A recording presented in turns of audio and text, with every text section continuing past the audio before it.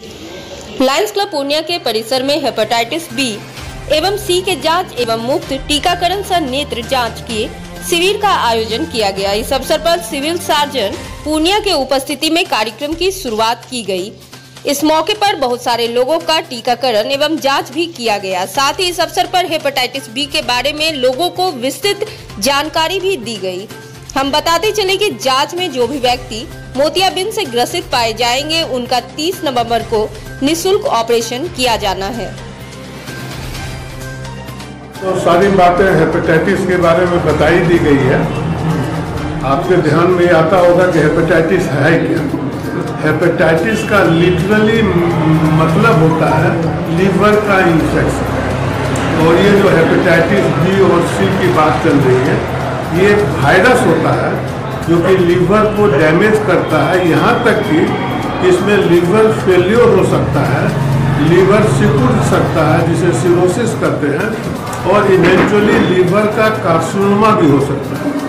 इसलिए hepatitis B का टीकाकरण हर व्यक्ति को इन होने वाली बीमारियों से बचाएगा, और ये लगभग फुल इम्यूनिटी देता है अर्थात हेपेटाइटिस बी का अगर आप रिकमेंडेड डोज समयानुसार ले लें तो आपको हेपेटाइटिस बी नहीं होगा। हेपेटाइटिस बी नहीं होगा तो आने वाले जो दुष्परिणाम हैं, वो भी नहीं होगा। इसलिए आप लोगों में, जनता में जो आज ले लिए हैं, अच्छी बात है। जो नहीं ले हैं, उनको जहाँ भी मौका मिले, या लाइन्स क्लब से कांटेक्ट करें, हम लोग भविष्य में भी दिलाएँगे। और इसमें हमारे लाइन्स क्लब के माननीय अध्यक्ष, सचिव तथा अन्य सारे सदस्य पूरी तत्परता से लगे हुए हैं। मैं उन सबों को इस सामाजिक कार्य के लिए धन्यवाद आज हमारे लाइन्स क्लब में हेपेटाइटिस बी का और टीका लग रहा है, जो कि बहुत संक्रामक रोगों से बचाव करेगा और आई चेकअप भी हम करवा रहे हैं आज। आई चेकअप डॉक्टर सैलेस सुमन के द्वारा करवा रहे हैं। और इसका जो मोतियाबिंद जिनको पाया जाएगा, उनका ऑपरेशन हम 30 तारीख को करेंगे। इसी महीने की 30 तारीख को। और जिनको आज टीका लगा है, उनको दो बार और टीका लगेगा। वो आगामी तारीख है, जो हम अभी कार्ड बना के देंगे, उनपे अगले एक महीने के बाद और फिर छः महीने के बाद टीका लगना है उनको उनको भी इसी परिसर में हम लोग टीका देंगे।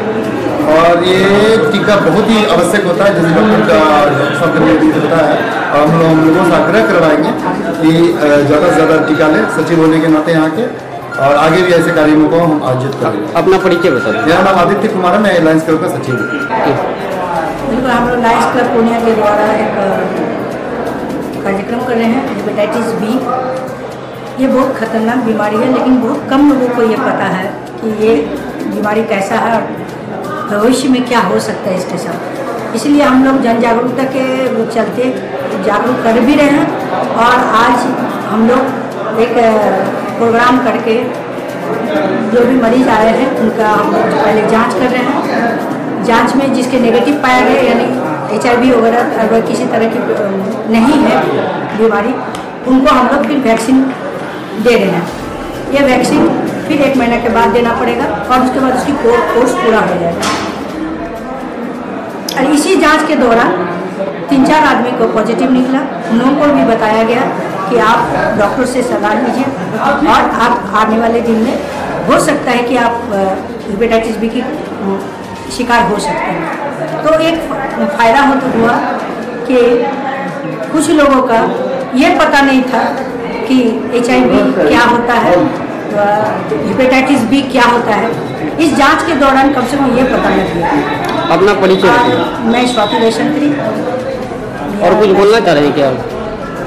मैं ये बोलना चाहूँगी कि वैक्सीन एक ऐसा चीज़ है कि ये बीमारी होने के पहले जाँच अवश्य करा जाए। जहाँ भी जिस संस्था से भी जिस कार्यक्रम होता है, वहाँ लोग जाए और अपनी जाँच करा के अपनी ज़िंदगी को निश्चित कर सकें।